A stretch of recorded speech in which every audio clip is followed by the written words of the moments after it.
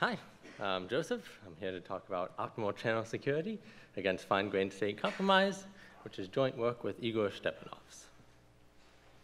So there's a growing recognition that ordinary people deserve end-to-end -end encrypted communication. As cryptographers, we've long understood the theory of how this can be achieved, but in practice, there's a dearth of available, easy-to-use tools. TLS is designed for web servers, not for person-to-person -person communication. PGP is widely accepted to be a pain to use. Messaging apps are arising as an easy-to-use alternative. Here, I show several examples of messaging apps which aim for end-to-end -end encryption. To give a sense of scale here, WhatsApp alone encrypts around 55 billion messages every day. There's somewhere around 700 million iPhones in use. Given this widespread use, it's important to understand exactly what security they're achieving. In my talk, we're motivated by the double ratchet algorithm used, for example, by Signal. In particular, we're trying to gain a better understanding of the goal it's aiming for, which is um, communication in the face of state compromise. So if we think about traditional encryption, Alice and Bob will share some key K. Throughout their conversation, they'll encrypt and decrypt all of their communications with this key. But now in the threat of state compromise, some attacker somehow gains access to the secret state on the phone. Given this key K, the security of this communication is completely and irrevocably lost. In practice, to address this, various messaging apps are using techniques where they update their keys over time. K1, K2, K3. And then the idea is that if an adversary, say, steals K1, they shouldn't be able to learn anything about what was encrypted using a different key, say K2. In slightly more detail, the general goals we're aiming for here are often referred to as forward and backward security. Forward security asks that in the face of an exposure, prior keys in communications security is maintained. Backward security asks for the opposite. Of course, exactly what is being achieved by these goals needs careful considerations. If, for example, our threat is malware, which can just directly exfiltrate our messages, we're not really gaining anything by using these techniques. These techniques will be useful, more useful when our threat is some sort of malware, which can only exfiltrate keys instead of messages, and if users actively delete their messages over time.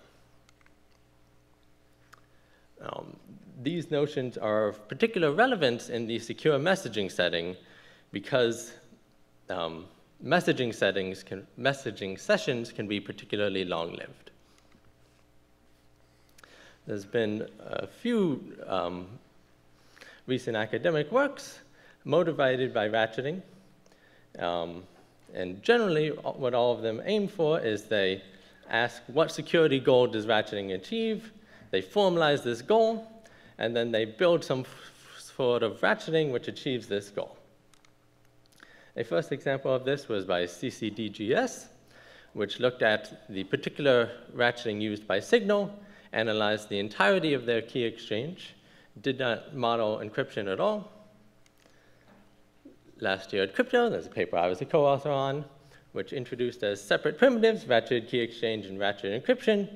But as we just heard, the important limitation was that was we only considered communication in one direction.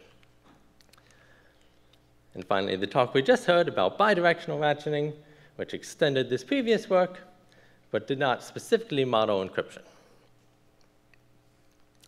The goal of my work today is slightly different. Instead, we asked what is the best possible messaging security we can hope for in the face of fine-grained state compromise. We formalized this and then achieved it. And notably, the techniques we used don't really look like ratcheting. To give a summary of our contributions, which I'll be covering in the rest of the talk. First, we define the strongest possible security of a channel against fine-grained state compromise. we define two new forms of public key primitives, key updatable digital signatures and public key encryption, provided constructions for these primitives, showed how they can be combined with a collision-resistant hash function to build a secure channel meeting our strong notion. And we, of course, provide proofs that all of these constructions meet the desired notions of security. One quick point I should make, this public key encryption actually differs slightly from what we had in the proceedings version. We realized there was a small bug in our original proof. Uh, my co-author is supposed to push the full version to ePrint today, which fixes this. Might be up there now, I'm not sure. Okay. So at a very broad level, the threat model we've tried to formalize is looking for both integrity and privacy in the face of an adversary which has complete control of the communication sent between the two parties and is able at any time, and perhaps repeatedly, to steal the secret state stored by one or, or both parties. By best achievable, how I want us to think of that is that any attack which could be prevented is prevented. We, of course, can't hope to prevent the attacks which are unpreventable. An obvious question to ask then is, does the double, double ratchet algorithm used by Signal achieve the strong notion that we came up with? Unfortunately not. Some examples of preventable attacks which would not be prevented by Signal include that given the state of one user, you're able to forge messages to that same user. You're also, given the state of a user, capable of reading messages that that user sent to the other user and some more subtle attacks. One implication here is that with a single exposure of Alice, using this signal protocol, I would be able both to impersonate Alice to Bob, which we can't hope to prevent, and impersonate Bob to Alice, which we'll see that can be prevented. Of course, then there's the question of how much do attacks like this matter in practice, I can't really give a full answer here. That would require having a better understanding of exactly where such attacks occur in practice than I think we really have currently. And then you might also wonder, is there any kind of small tweaks we can make to Signal to meet these stronger notions of security? I can't say definitively, but it doesn't seem like it. It seems like this stronger notion of security we defined really requires stronger primitives than is used in Signal. Okay, so now to dig slightly more into the formalism, um, the kind of syntax of the object we use to study bidirectional communication is what's known as bidirectional channels, which were introduced recently by Marson and Poettering. In particular, it consists of three algorithms. First, an initialization algorithm, which gives the initial state to both Alice and Bob. A sending algorithm, given that state, a message and some associated data produces a ciphertext. Then if we give the same associated data and the ciphertext to the other user, they can decrypt and recover the same message. Because communication is bidirectional, we want our primitive to work in both directions. And furthermore, we need our correctness to be maintained even if ciphertexts happen to cross each other on the wire. we wanted to approach this idea of kind of the best achievable security notion in a somewhat principled manner. So in particular, how we started that process was by defining just a very general interface of how an attacker is able to interact with the channel. In particular, this consists of a couple oracles, a sending and receiving oracles, where you can ask either of the parties to send a message or receive a ciphertext. And then we augment this with an exposure oracle where you can ask to be given the current secret state of either of the two users. And in particular point to um, note here is that the secret state may include the randomness that is being used by one of the users if they're in the middle of performing one of these two operations. With that in mind, the goal of the adversary, with its complete control of the communication, is to tell either which of two messages was encrypted in a typical left or right notion, or to forge a new ciphertext to either of the parties. The next process in obtaining our final security definition was understanding some generic attacks. In the interface as I just defined it, there are attacks which will breach the security of any channel.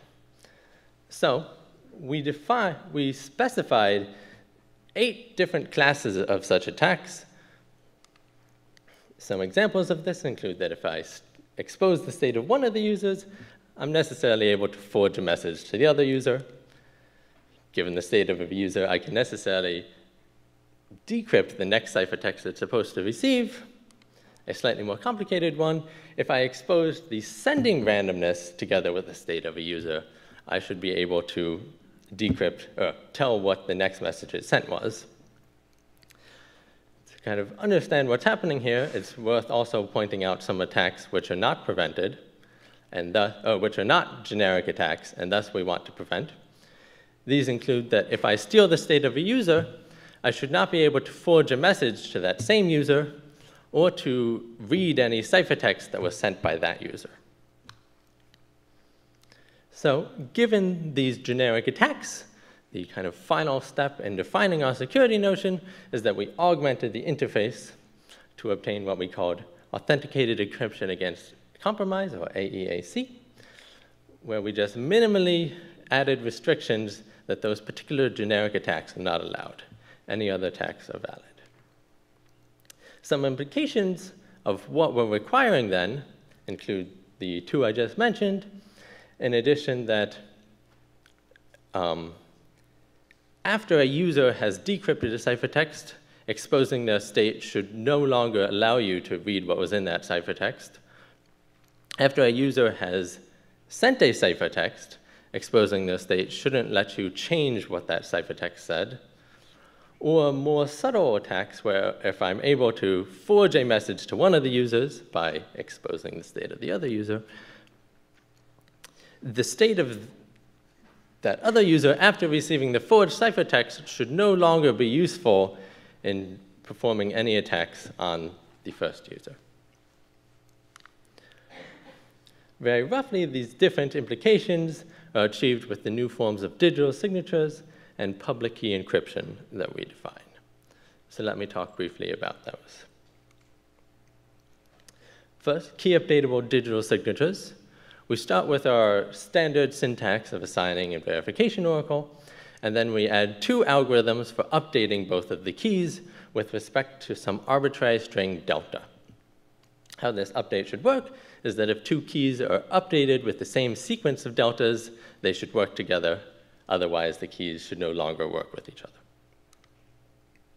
For security, we defined a variant of strong unforgeability, where in addition to the usual signing algorithm given to an attacker, there's an update algorithm, Oracle, which will update the secret key with a attacker-chosen delta, and an exposure oracle, which gives the current secret key back to the attacker. Their goal is to create a forgery with the obvious restriction that we prevent trivial attacks of exposing a signing key, maybe updating it a few times, and then just signing your own message. To construct this, we were able to do so from any normal forward secure digital signatures. Kind of the only difference of this new primitive is that our updates need to happen with respect to delta. And the way we kind of incorporate into that into the update is before you ratchet your key forward, you first sign delta with your old key. And then that signature will be included in future, um, in future signatures. Next, our public key encryption. Again, we take normal public key encryption, this time public key encryption with labels, and we add algorithms for updating the encryption and decryption key with respect to delta. This works kind of in the same way. For security, our definition was a variant of CCA security, where we add two oracles for updating the keys with respect to an attacker-chosen delta, and an oracle which gives back the current decryption key. Again, we have the same sort of trivial restriction that you can't do the obvious attacks by exposing a decryption key and then using that to decrypt a challenge ciphertext. The construction of this is actually somewhat straightforward from hierarchical identity-based encryption. If you kind of look carefully at what we defined, what we really defined is a special case of HIBES where the deltas correspond to parts of the identity we're updating, and we just take a single path down the HIBE tree. Okay? So like I said, we can then combine these two primitives together with a collision-resistant hash function to ultimately obtain the channel that we want. At a high level, the state we'll be storing at any particular time is a counter, the public keys for both of our types of primitives, the private keys, including possibly multiple decryption keys, and then also transcripts of the messages we've sent to the other party and transcripts of what we've received from the other party, together with, of course, our hash function key.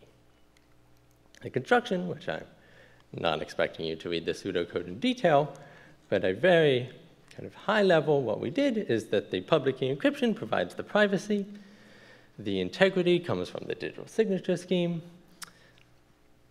the kind of first main part of how we're achieving the forward and backward security is that with every ciphertext we send, we're going to include new encryption and verification keys for key pairs that we just generated. Um, a more complicated part of the forward security is what we're achieving with the key updates. In particular, we're updating the public parts of our keys with the transcripts of what we've sent to the other user. We're updating the secret parts with the transcripts we've received. And the sorts of attack which are being prevented by these key updates are the ones I talked about where if I expose one user state, use that to send a forgery to the other user, the other user state should no longer be useful in breaching security of the first user. That's somewhat complicated attacks are what the key updates really are preventing. Um, then finally, the counter just prevent simple sort of reordering attacks. In our paper, to provide some intuition for all of the kind of fine details of how our construction worked, we provide nine different attacks against small variants of our construction, which show why the security would be lost if we had done things kind of slightly differently in a number of ways. Finally, a construction is not very useful without a proof of security we proved that our channel is secure under kind of the expected security notions we've been discussing, together with a notion of uniqueness for the digital signature scheme. Concretely, this proof consisted of a tight reduction from AEAC to multi-user versions of the underlying security notions. The kind of multi-user Security notions arise quite naturally because we're sampling new key pairs with every text we send. Very roughly, we can divide the proof into two steps.